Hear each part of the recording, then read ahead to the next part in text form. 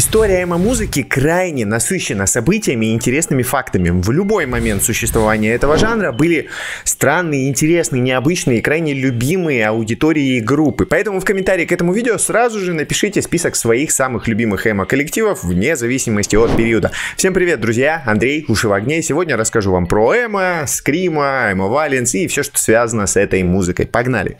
Когда я только начинал знакомство с андеграундной музыкой, как раз шел 2008 год, который, на самом деле, и был годом рассветом эмо-культуры в регионах. Да и про столицы тоже ходят слухи, что никакого 2007 на самом деле не было. Так вот, уже тогда по интернету вовсю гуляли гневные тексты о том, что вся эта черно-розовая масса — это не труэма, а труэма было в 90-х, и тогда я, как настоящий нонконформист, был на стороне, конечно же, отрицающих современное положение дел. Шли годы, я начал заниматься музыкальным блогингом и пришел к умозаключению, что смена звучания любого жанра, пусть даже коммерческая, имеет место быть и нужно с ней считаться. Но для того, чтобы в полной мере наслаждаться всеми плодами жанра, не оглядываясь на эпоху, нужно знать историю его происхождения и контекст.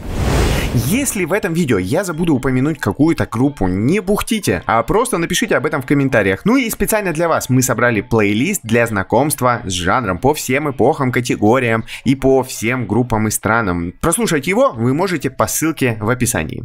Итак, история эмо-музыки на рассвете очень тесно переплетена с ранним постхардкором, полный видос по теме которого можете посмотреть по ссылке в подсказках. Но если кратко, то в середине 80-х появился и очень быстро сгорел постхардкор коллектив Rights of Spring. Они отошли от традиционной пан-хардкорной тематики общественных проблем в более личные темы и сделали немного мелодичнее свою музыку. При этом агрессия и экспрессия у них остались на уровне родоначальника жанров. Вокал обычно был чистым, с периодическими всплесками высоких и ярких криков. Творчеством Rights of Spring сильно вдохновился легенда хардкор-музыки Ян Маккей, собравший на этом же концепте Embrace. Обе группы выпустили по одному альбому и были таковы. Из вашингтонской тусовки, к которой относились оба коллектива, также можно выделить Grey Matter, Beefeater, Fire Party, Dagnasty и Soulside.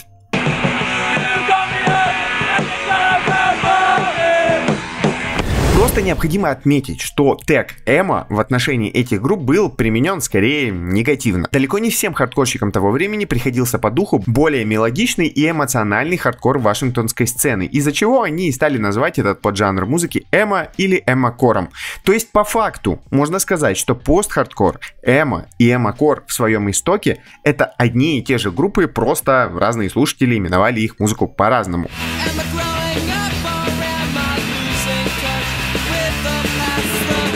До конца 80-х жанр оставался плюс-минус прежним, но распространялся на территории США. В начале же 90-х силами Sunny Day Real Estate, Jimmy Eat World и Joe Breaker случилось первое преобразование эмо-музыки. Заключалось оно в смешении первой волны эмо-музыки с поп-панком и инди-роком. Инструментальная часть и энергетика осталась прежней, тексты все так же были о личном, но появилось больше динамики и тех самых эмоций в вокале. Контраст между относительно спокойным голосом и бойким инструменталом в купе с текстами про собственные переживания покорял многих подростков того момента. Это был первый шажок к доступности эмо-музыки массам.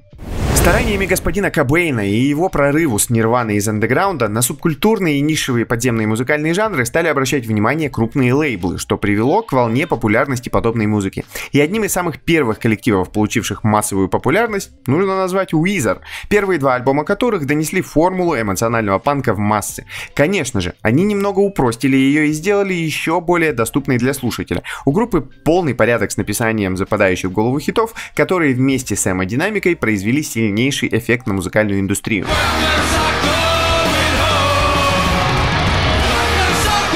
90-х эмо-музыканты еще сохраняли дух «сделай это сам» эстетики хардкорщиков 80-х. И это несмотря на мейджор-контракты некоторых исполнителей. Группы находились еще в пограничном состоянии. На них уже обращали внимание, но до массового эмо-цунами оставалось еще несколько лет. Знаковыми группами того времени принято считать Mineral, Captain Jazz, Lifetime, Braid, Texas is the Reason и The Get Up Kids. Большинство из них просуществовало лишь несколько лет и выпустило один-два релиза, что не помешало большинству из них обрести культовый статус в эмо-тусовке. Всю эту волну из-за схожести в звучании принято объединять под термином Midwest эмо, то есть эмо со Среднего Запада.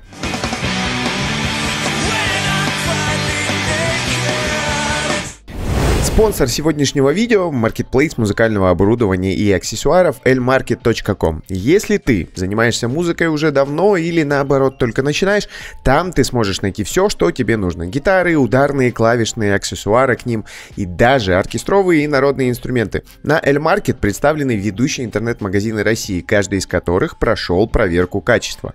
При заказе от 1000 рублей бесплатная доставка, а до 1000 всего 99 рублей. И самое приятное, по промокоду на экране ты получишь скидку 10%. Переходи на L-Market по ссылке в описании и выбери все, что тебе нужно для полной творческой реализации.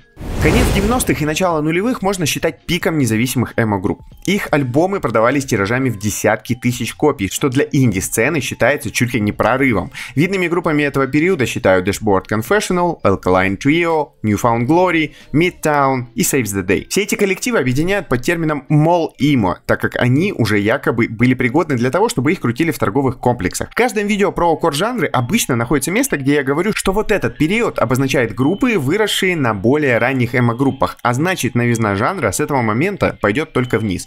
Да, все эти бенды тоже имеют определенный культовый статус, и именно эти группы ответственны за то, что случилось после.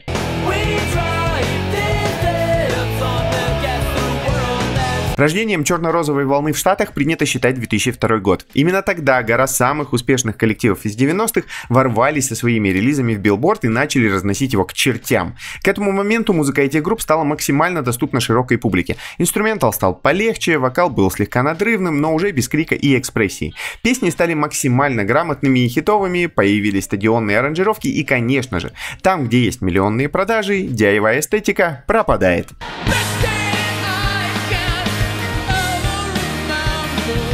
Прорывными группами нулевых для эмо-музыки стали Taking Back Sunday, The Used, Thursday, The All American Reject, Simple Plan, Plain White Keys, The Red Jumpsuit Apparatus, Boys Like Girls и Paramore. Также в эмо-музыку пришли AFI, которые вообще вышли из вот такого вот панк-хардкора.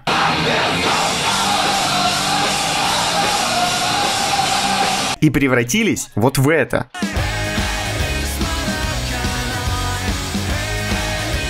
Папа Роуч тоже совершили трансформацию после упадка нью металла и уже на альбоме Getting Away with Murder стали звучать под стать жанру.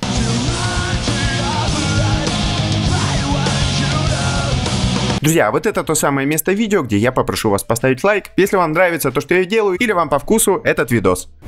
Но святой троицей эмо-музыки нулевых безоговорочно являются The Black Parade от My Chemical Romance, Infinity on High от Fallout Boy, хотя From Under the Cork тоже был хорош, и If Ever You Can Sweat Out от Panic at the Disco. Это были самые коммерчески успешные и яркие записи того периода. Все составляющие изначальной эмо-музыки на этих пластинках были доведены до предела. Эмоциональность подачи, личностный аспект текстов и громкий инструментал. Именно на эти три альбома равнялись все музыканты альтернативной сцены того периода. И именно они были в плеере у каждого уважающего себя эмакида. Альбомы действительно хорошие и заслуживающие внимания, особенно когда зерна от плевел уже давно отделены.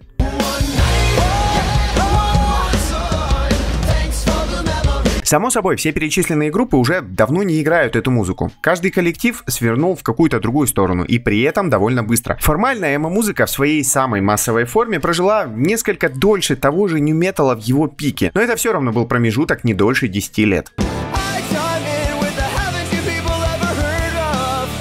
Но не все так безнадежно в современном мире. Опять же, как это часто и бывает в подобных моих видео, новая волна уже вовсю плещется на берегу. И как это опять же часто бывает, эта самая новая волна не в последнюю очередь отсылается к более ранним этапам эмо-музыки, например, к Мидвесту и началу 90-х. Активные представители The World is a Beautiful Place and I'm No Longer Afraid to Die, Pianos Becomes Teeth, Title Fight и мои фавориты Туша Амора. А еще, конечно же, невозможно не отметить возродившихся American Football с той самой культовой обложкой обложкой и альбомом. Эти ребята крайне толково смогли осовременить тот самый инди-звук эмо-музыки и по факту сейчас представляют собой чуть ли не исторический экспонат.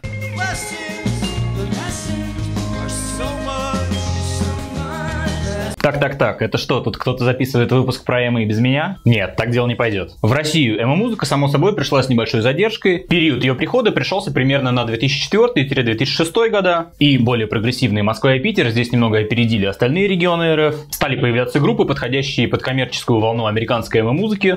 К сожалению, век их был совсем недолг, но ох, как ярок и горяч. Полыхали они во всех наушниках альтернативной молодежи в то время, а само слово «субкультура» в условные 2007 стало прочно ассоциироваться у большинства выросших в нулевые именно с эмо. Настолько ярко, удачно и своевременно они влетели в российскую действительность. Имена самых популярных групп того периода стали едва ли не нарицательными, но назвать некоторые из них, думаю, все же стоит. 30 дней февраля, Океан моей надежды, Скотч, Оригами, Радио Камбоджа, Never Smile, Майонез, Позже Майо, Идея Фикс, Комната. Послезавтра мои любимые игры, 200 по встречной, Дежавю, Such a Beautiful Day, Dead Kid, Терпимость 0, Солярис, Ранняя Психея, Частичная Джейн ну и Горящий Сентябрь Стигматы тоже никто не отменял. Этот список можно очень долго продолжать, у каждого были свои фавориты, а в каждом городе были свои звезды. Любопытно, что питерские эмо-группы того периода были как будто бы с уклоном немножко в сторону альтернативы, а многие московские наоборот, на грани с поп-панком.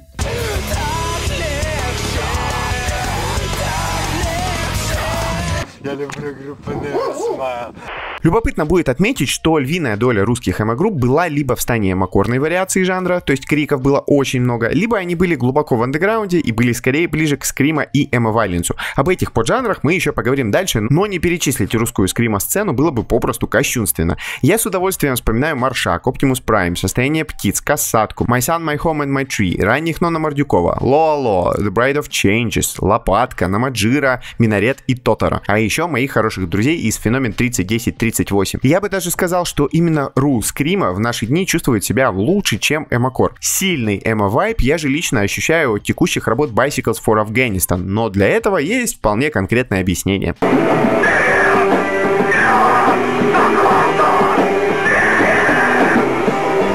немного про emoviolence и скримо. Скримо изначально являлся любопытной формой смешения хардкор-панка и высокого пронзительного скрима. Термин образован от слияния слов «скрим» и эмо. Изначально это была гораздо более спокойная музыка с едва-едва кричащим вокалом, но полной эмоциональностью в текстах. Примеры — группа Heroin и Antioch Arrow.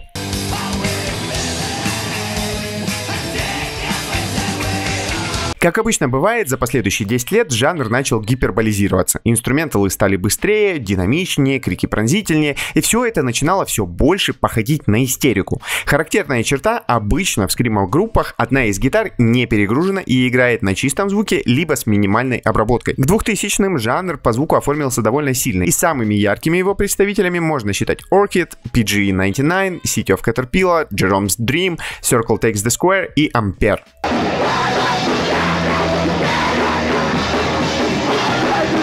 Но в 2000-х произошло странное. В момент, когда Эмо выстрелил в мейнстрим, многие лейблы и группы стали именовать себя скрима-коллективами. Хотя по факту они просто представляли собой эмо-бенды с пронзительным скримом в некоторых моментах. То есть все группы, которые выделяли и позиционировали себя как эмо, но кричали в своих песнях, почему-то стали именовать скрима-группами. По сути, эмокор как жанр был к ним ближе, но мы-то с вами знаем теперь, что изначально эмо и эмокор — это два названия одного явления. Впоследствии был придуман текст Cramps, с которым я лично никогда не сталкивался, но Википедия говорит, что он как раз и подходил для бендов того периода.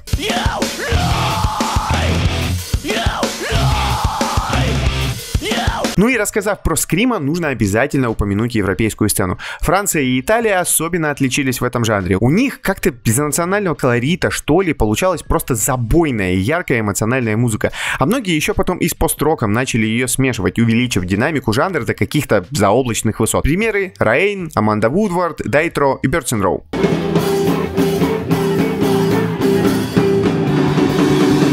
Где-то рядом со Скрима идет и Эмо Violence. Из названия ясно, что это смешение Эмо, Скрима, если быть точнее, и грайндового Power Violence. По звуку это более хаотичный Скрима с короткими и динамичными треками, лютой динамикой и ураганом экспрессии. Истерика превратилась в нервный срыв, и грозы уже не избежать.